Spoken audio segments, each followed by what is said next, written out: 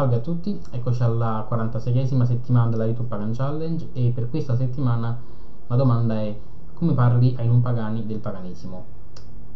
Domanda non complicatissima, quindi non penso che starò qui a perderci molto tempo. Diciamo in due parole che um, attualmente, allo stato del mio percorso, um, praticamente non parlo affatto con i non pagani del paganesimo. Questo perché tutte le mie discussioni, le mie polemiche, anche i miei scontri ormai me li sono già fatti, quindi non ho interesse a farne altri. Um, inoltre non penso che uh, il proprio percorso spirituale sia una cosa da sbandierare e spiattellare 420. So che può essere un controsenso, visto che ne sto parlando su YouTube, però io tendo a scindere YouTube e internet dalla mia vita uh, locale, diciamo, perché il mio contesto sociale in, in, cui vivo, insomma, la mia realtà quotidiana è ben diversa dal mondo di internet. Io sono circondato da persone non pagane, amici, parenti, conoscenti, con le quali bene o male quello che potevo affrontare l'ho affrontato, insomma, ho fatto tutte le mie discussioni laddove potevo e per altre cose in realtà non sono interessato a farlo, quindi uh, non ho questa esigenza di persona, insomma di, di, parlare del paganesimo più di tanto. All'inizio è diverso perché anni fa, quando ero ai primi anni del percorso, appunto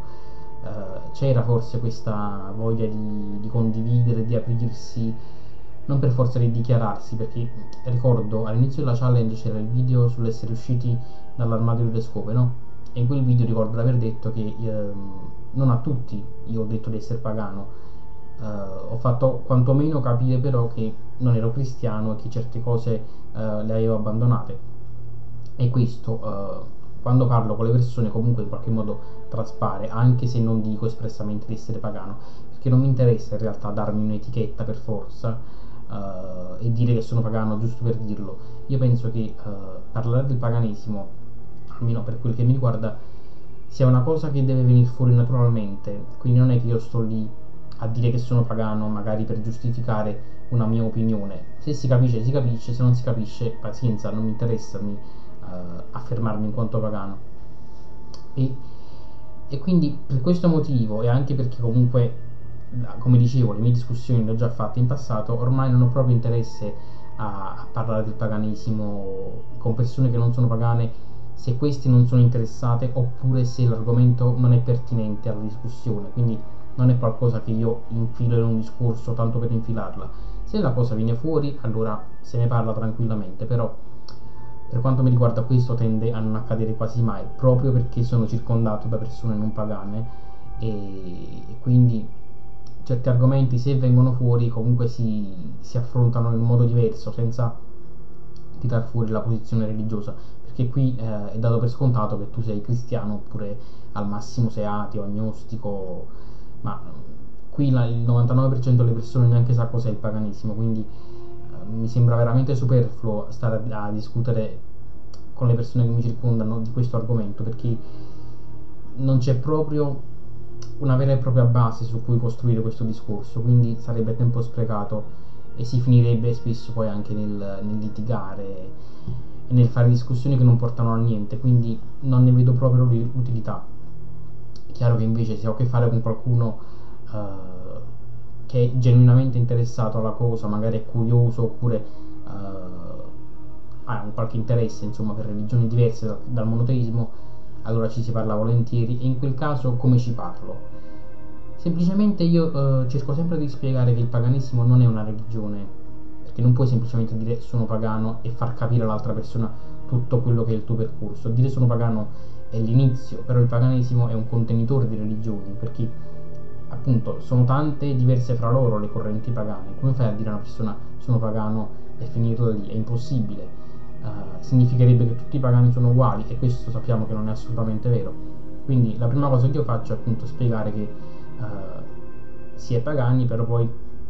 bisogna vedere quale corrente, quale tradizione, se c'è una tradizione oppure se si è eclettici uh, e quindi far capire un pochino che questo mondo in realtà è molto più complesso di quello che può sembrare da fuori. Uh, quindi devo spiegare magari ogni volta cos'è la Wicca, cosa non è la Wicca, le differenze col satanismo perché è tutta un'altra cosa, uh, cercare di scendere un po' la cosa dal movimento New Age, anche se ha contribuito parecchio a creare il paganesimo contemporaneo. Quindi